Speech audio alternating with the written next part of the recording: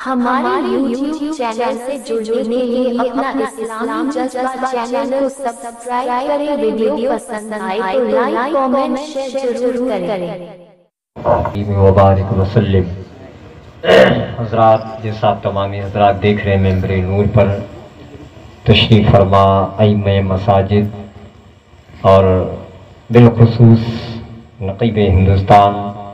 हज़रत मौलाना जमाल अख्तर सदर साहब गोंडवी मेंबर रसूल पर तशरीफ़ रखते हैं। चूँकि मौसम सरमा है, यानी सर्दी का मौसम है, प्रोग्राम ज़्यादा देर तक नहीं चलेगा इन जल्द अज जल्द ख़त्म करने की कोशिश की जाएगी। इसके बाद मौलाना कुतुबुद्दीन साहब कबिला, जो बेहतरीन आवाज़ के मालिक भी हैं, और आप लोग से, आप लोग भी मोहताज तारुफ नहीं। और उसके बाद हज़रत मौलाना जमाल अख्तर साहब कबला का बयान होगा।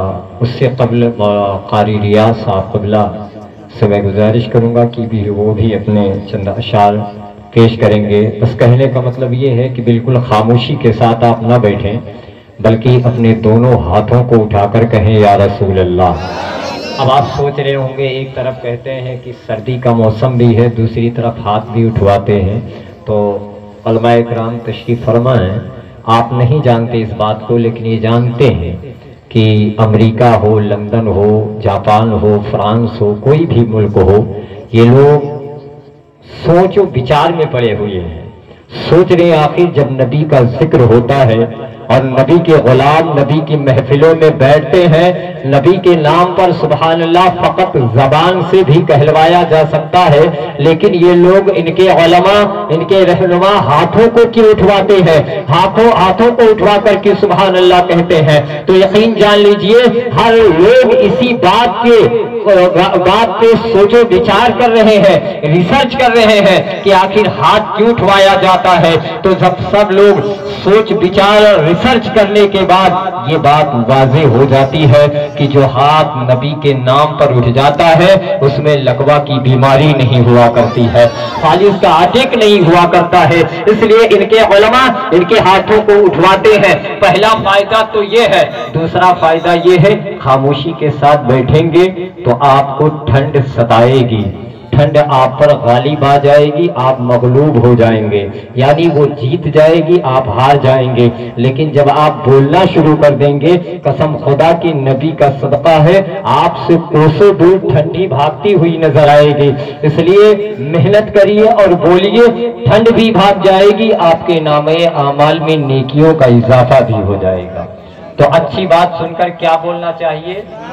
कैसे बोलना चाहिए? इसे बोलेगा अब आप शायद डरे नहीं, वो अभी मौलाना जमालुद्दीन साहब ने कहा था, ना ज़ोर से बोलोगे तो बाजू वाला केस ठोक देगा। ऐसा कुछ भी नहीं है, ना टेक्स लगेगा, ना केस ठोका जाएगा। बिला तकल्लुफ आज़ाद हिंदुस्तान है।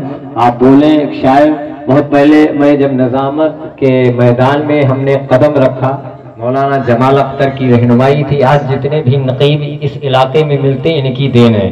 तो पहले कहा करते थे कि दूर दूर क्यों दिख रहे हो? क्या ये कब्रस्तान है? दूर दूर क्यों बैठी हो? क्या ये कब्रस्तान है?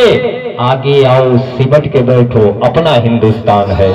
आगे आओ, सिमट के बैठो, अपना हिंदुस्तान है। तो जरा ज़ोर से कहिए, या रसूल अल्लाह हाथों को बुलंद करके या हुसैन या हुसैन, या गौ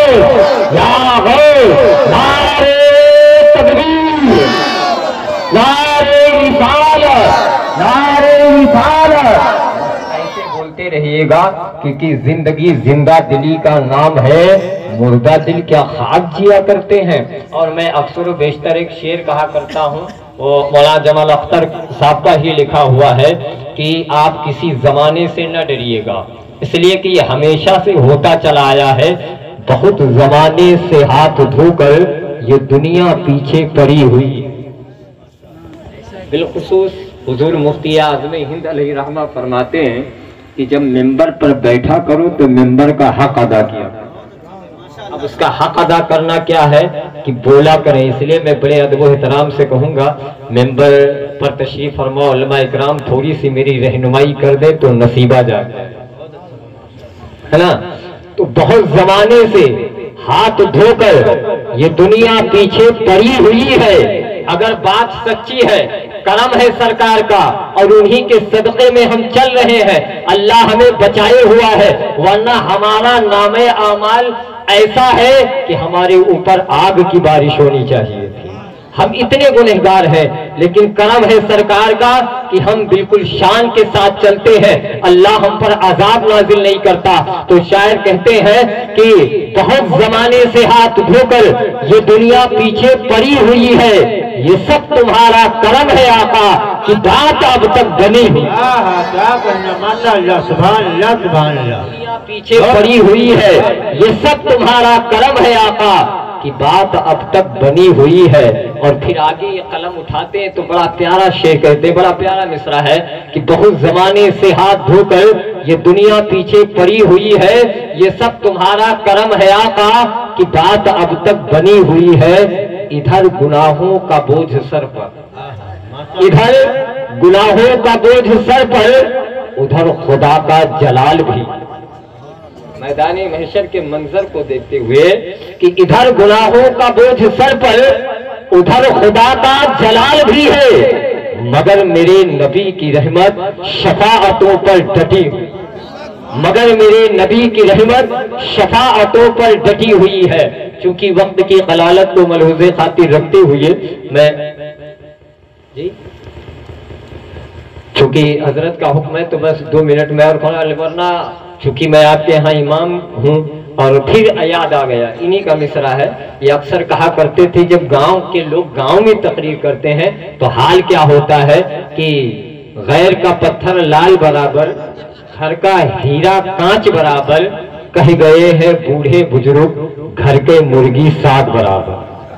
कह गए हैं बूढ़े बुज़ुर्ग, घर के मुर्गी साग बराबर। नींद तो नहीं आ रही आपको? हाँ? इसलिए कि बोलते वही लोग हैं, नहीं बोलते हैं, जिनके या तो मुँह में गुटका या तो जुमा खुटका। लेकिन मैं जानता हूँ कि आप लोग सोएँगे नहीं इसलिए कि नज़र बेदार रखने की कसौटी साथ रखते हैं। उन्हें क्या नींद आई जो चिनौटी साथ रखते हैं? सुने? उन्हें क्या नींद आए जो चिनौती साथ रखते हैं? जब नींद आए भी ठोंक ठाक लेते हैं। लेकिन यहाँ कम ठोकिएगा और ना कब्र में फरिश्ते बहुत ठोकेंगे। ये अल्लाह वालों की महफिल है और अलमा फरमाते हैं कि हुजूर की दो रवायतें हैं। एक हुजूर फरमाते हैं, मैं खुद तशरीफ़ लाता हूँ। दूसरी में आका फरमाते हैं, मैं मदीना मुनवरा से ही देख लेता हूँ। तीसरी में यह है कि फरिश्ते मुकर्र किए गए हैं। हजरात तो चूँकि ये तशरी कराम करेंगे तो मैं अर्ज़ करा था कि बहुत जमाने से हाथ धोकर ये दुनिया पीछे पड़ी हुई है। बहुत जमाने से हाथ धोकर ये दुनिया पीछे पड़ी हुई है। ये सब तुम्हारा कर्म है आका, की बात अब तक बनी हुई है। इधर गुनाहों का बोझ सर पर, उधर खुदा का जलाल भी है। मगर मेरे नबी की रहमत शफाअतों पर डटी हुई है। मगर मेरे नबी की रहमत शफाअतों पर डटी हुई है क्योंकि मैं अपना सारा वक्त अपने अलमा के हवाले करता हूँ। और मैं गुजारिश करूँगा हाफिज रियाज साहब से कि वो आए और कम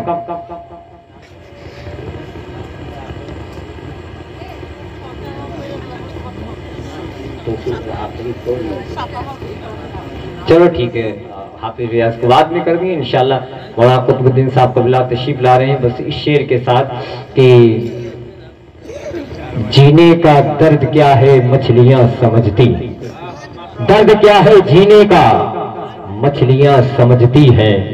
बाप की गरीबी को बेटियाँ समझती है। दर्द क्या है, जीने का, मछलियाँ समझती है।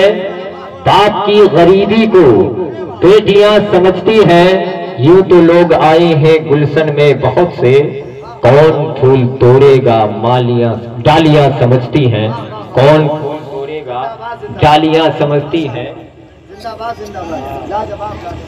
कौन फूल तोड़ेगा, डालियाँ समझती हैं। मैं बड़े ही अदब एहतराम के साथ गुजारिश करूँगा शहनशाह तरन्नुम, हज़रत मौलाना कुतुबुद्दीन साहब कुतुब गोडवी से कि वो मेंबर रसूल पर तशरीफ़ लाएँ, इस शेर के साथ कि हम गुनाहगार को गमखार की याद आती है। हम गुनाहगारों को गमखार की याद आती है, रात दिन अहमद मुख्तार की याद आती है। रात दिन अहमद मुख्तार की याद आती है बस इतना काफ़ी है, मुझे चैन से जीने के लिए नाथ पढ़ता हूँ तो सरकार की याद आती है। नाथ पढ़ता हूँ तो सरकार की याद आती है। नाथ पढ़ता हूँ तो सरकार की याद आती है। माइक पर हम गुनाहगारों को तो आप भी बोलिए जब वलमा इकराम यानी जब मेंबर बेदार हो जाए तो समझ लीजिएगा अगर आप उर्दू नहीं समझते हैं तो इतना तो समझते हैं कि ये लोग अगर दाद दे रहे हैं तो बात कोई अच्छी है और ये शेर इतना वज़न था कि पूरे अकबर अली पुरवा वाले मिलके उठाते फिर भी नहीं उठा पा भाई वाह क्या बात समझे? लेकिन आपने बेतवज्जही के कुर्बान गाह पर जबा कर समझ रहे हैं? तो फिर से सुन लीजिए, अगर शेर अच्छा है, बात सच्ची है तो तड़प के सुबह अल्लाह बोलिएगा। हम गुना गुनागार है, आप मानते हैं गुनागार है तो फिर बोलिएगा। हम गुनाहगारों को गमखार की याद आती है। बोलिए बोलिए। हम गुनाहगारों को गमखार की याद आती है रात दिन असमद मुख्तार की याद आती है। इतना काफ़ी है, मुझे चैन से जीने के लिए नाच पढ़ता हूँ तो सरकार की याद आती है। नाच पढ़ता हूँ तो सरकार की याद आती है। माइक पर हज़रत मौलाना कुतुबुद्दीन साहब कुतुब गोंडवी।